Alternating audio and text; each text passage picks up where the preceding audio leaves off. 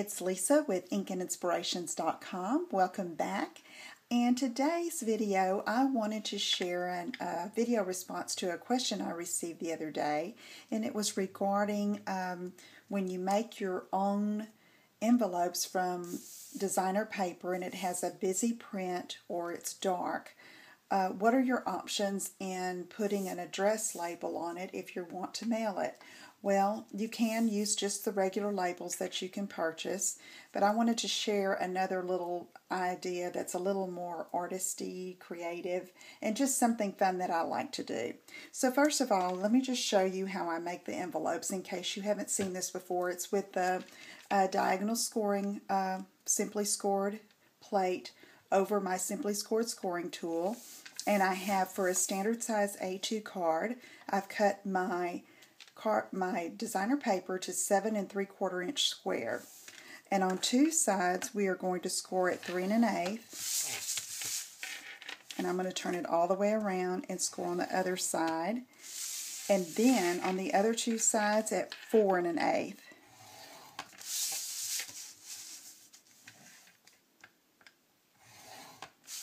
Okay, so now we have our score lines, and it's a good idea to go ahead and fold on all those lines to get a good crease.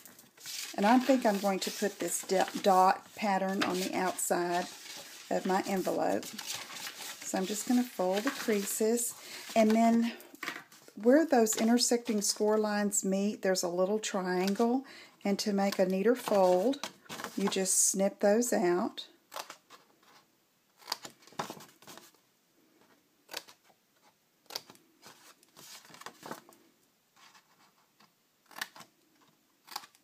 Okay, and then what I'm going to do is I'm going to fold these two pieces in here and use a little glue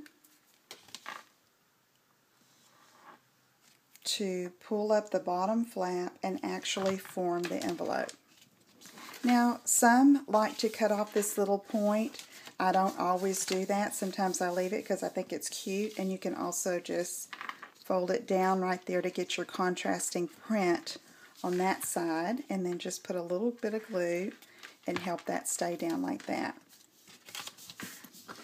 Okay, so okay. now we're ready to uh, address the envelope. So I need um, something here to make it lighter so that the address is visible. And you, like I said before, you can put a label, a pre-purchase label, or you could make your own from cardstock. But I like to use uh, white gesso and you can find this in any craft store in the paint section or even in the big box stores I found it on the craft aisle. And it's just a white base that's used to provide um, work with different kinds of mediums in art, painting, watercolor, but it can be used for different things and I like using it on some of my crafting projects.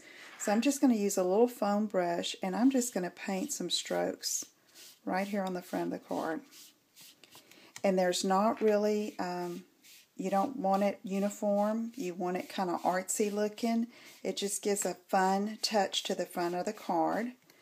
And it is a little bit transparent. You can keep applying coats, but that's not necessary. It's going to dry and have a pretty smooth finish. And then I like to address with uh, a Sharpie marker and it holds up real well. It's very visible and good for the Postal Service. Now, what I do is I use um, return address labels usually, and so for when I address like this, I'll put my return address on the back of the of the envelope flap. So anyway, also be sure to visit my blog at www.inkandinspirations.com. Let me know if you have any questions, and I'll see you again soon. Thanks for watching. Bye-bye.